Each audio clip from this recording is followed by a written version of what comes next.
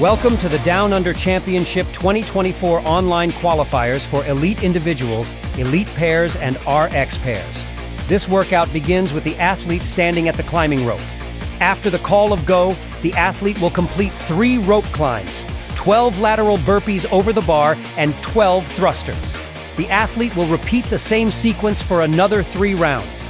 The athlete's score will be the total time it takes to complete the workout, or the total number of reps completed before the 16 minute time cap.